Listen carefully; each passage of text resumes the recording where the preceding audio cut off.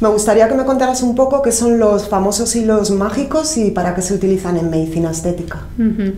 Pues los llaman mágicos porque mm, tienen un efecto tensor, ¿vale? Son hilos de polidioxanona, que es el material que se emplea en las cirugías cardíacas, ¿de acuerdo? Ajá. Para las, tu- las suturas en las cirugías cardíacas. ¿Y, y en qué zonas se ponen? Se puede utilizar pues a nivel facial, pues por mm, cualquier sitio, incluso a nivel corporal, puedes utilizar en brazos, en muslos, en glúteos. Pero, por ejemplo, también los podemos poner aquí, no, ¿no? Es más para, para zonas... Puedes ponerlo para elevar la cola de las cejas, puedes eh, un poquito para recuperar lo que es definir el óvalo facial, para, digamos, mm, levantar todo lo que con la edad pues se va cayendo un poquito. ¿Y estos hilos cómo se ponen? ¿Es por medio de... es por inyección, con una cánula? ¿Cómo, cómo se ponen? Pues estos hilos mm, van dentro de una aguja que nos sirve de guía, ¿de acuerdo? Entonces introducimos la aguja y al retirar la aguja el hilo se queda dentro de la piel. Ese hilo lo que hace es eh, produce una fibrosis y produce una estimulación eh, de colágeno. Entonces esa fibrosis es lo que genera la tensión. Ese hilo a los seis meses desaparece, pero el efecto tensor viene a durar como unos 12 meses aproximadamente. O sea, seis meses con el hilo dentro y luego, aunque el hilo se reabsorba, tiene seis meses más de... De efecto, sí, de Ok. ese efecto tensor. En el momento del tratamiento uno nota una mejoría espectacular, pero esa mejoría es fundamentalmente por la inflamación, porque son Ah. bastantes pinchazos. Esa inflamación baja y a la semana tú puedes decir, No me ha hecho nada. No me ha hecho nada.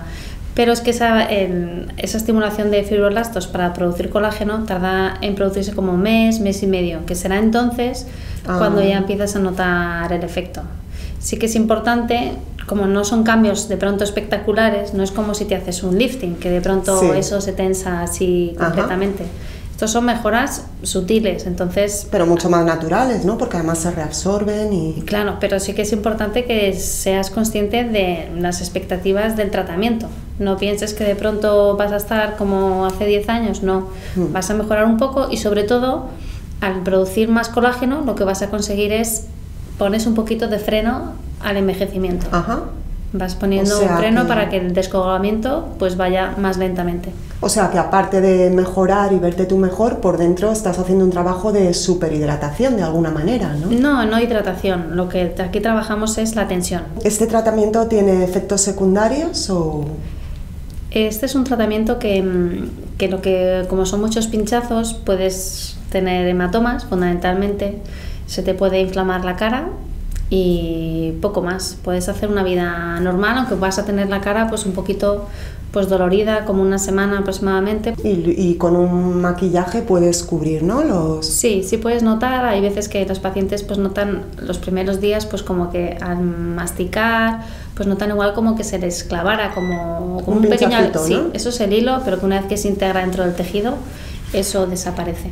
¿Y este tratamiento de hilos mágicos duele o, o es llevadero? ¿Necesitas anestesia? ¿Cómo es? Lo recomendable es poner una crema anestésica como 45 minutos, una hora antes para que no te moleste nada. Notarás la aguja, pero no te producirá dolor.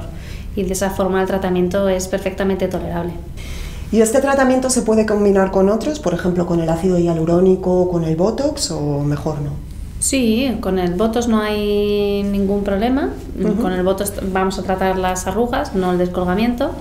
Con el hialurónico recuperamos volumen. Ahora bien, el hialurónico y los hilos hay que dejar pasar por lo menos un mes, mes y medio para poner el, el hialurónico después de haber puesto los hilos. No se puede poner el hialurónico y los hilos inmediatamente. Ajá. Pero con el Botox no hay problema, ¿no? No, con el Botox no hay ningún problema.